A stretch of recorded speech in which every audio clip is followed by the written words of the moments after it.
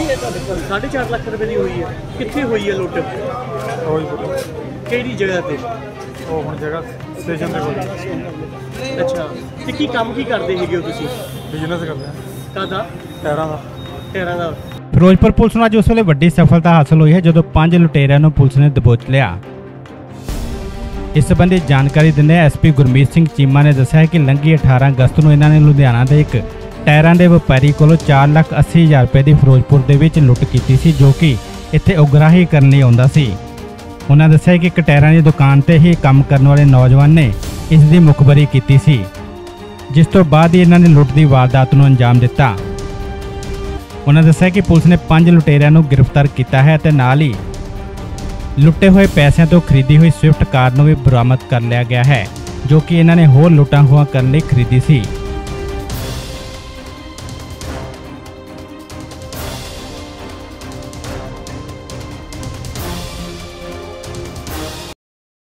ਹਾਂਜੀ ਹਾਂਜੀ। ਇਹ ਨਾ ਜੀ ਮੁਕੱਦਮਾ ਨੰਬਰ 84 ਮਿਤੀ 18821 ਅੰਡਰ ਸੈਕਸ਼ਨ 379 ਬੀ, ਥਾਣਾ ਕੈਂਟ ਫਿਰੋਜ਼ਪੁਰ।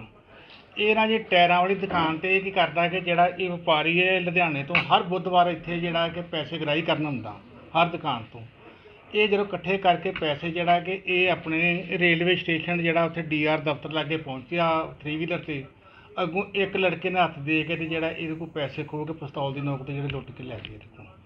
ਜਿਹੜਾ ਕਿ ਸਾਡੇ ਆਪਣੇ Rajpal Sandhu IPS senior police ਕਪਤਾਨ ਦੇ ਜਿਹੜੇ ਹਦਾਇਤਾਂ ਮੁਤਾਬਕ ਜਿਹੜੇ ਸਾਡੇ ਜਤਿੰਦਰ ਸਿੰਘ ਸੀਗੇ ਸਟਾਫ ਜਿਹੜੇ ਇਹਨਾਂ ਦੀ ਟੀਮ ਨੇ ਬੜਾ ਵਧੀਆ ਕੰਮ ਕੀਤਾ ਕਿ ਜਿਹੜਾ ਇਹ ਜਿਹੜੇ ਪੰਜ ਦੋਸ਼ੀ ਨੇ ਜਿਹੜੇ ਇਹ ਗ੍ਰਿਫਤਾਰ ਕਰ ਲਏ ਨੇ। ਸਰ ਇਹ ਇਹਨਾਂ ਨੂੰ ਕਿਵੇਂ ਪਤਾ ਲੱਗਾ ਕਿ ਇਸ ਇਸ ਬੰਦੇ ਕੋਲ ਪੈਸੇ?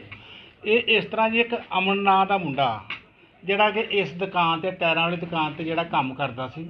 ਔਰ ਉਹ ਜਿਹੜਾ ਕਿ ਉਹਨੇ ਇਹਨਾਂ ਨੂੰ ਕੋਈ ਦਿੱਤੀ ਹੈ ਮੁਖਬਰੀ ਕਿ ਜਿੱਥੇ ਹਰ ਬੁੱਧਵਾਰੇ ਆਉਂਦਾ ਤੇ ਇੱਥੋਂ ਪੈਸੇ ਇਕੱਠੇ ਖੜ ਕੇ ਇਹਨੇ ਖੜਦਾ ਜਿਹੜਾ ਕਿ ਸਾਡੇ ਜਿਹੜੇ ਜਤਿੰਦਰ ਸਿੰਘ ਹੈ ਇਹਨਾਂ ਨੇ ਜਿਹੜਾ ਕਿ ਨਾਕਾ ਲਾਇਆ ਸੀ ਆਪਣਾ ਅਹ, ਜ- ਹੈ ਚੌਂਕ ਟੈਂਕਾਂ ਵਾਲੀ ਬਸਤੀ ਤੇ।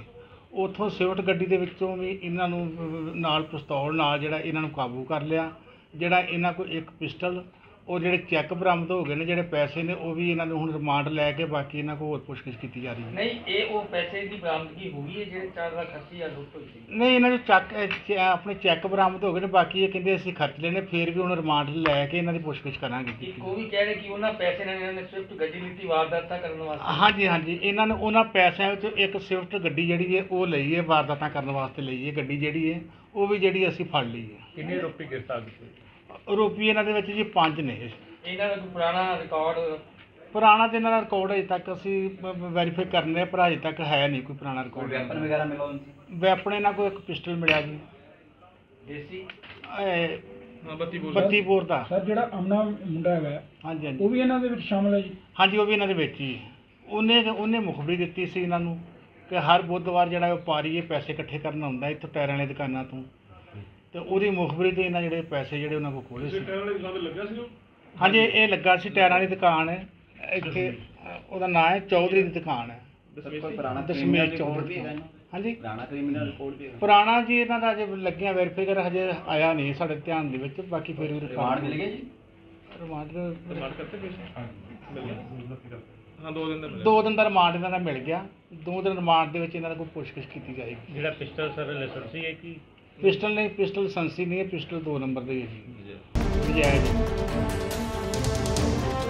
ਫਿਰੋਜ਼ਪੁਰ ਤੋਂ ਬੌਬੀ ਖੁਰਾਨਾ ਦੀ ਰਿਪੋਰਟ, ਪੰਜਾਬ ਟੁਡੇ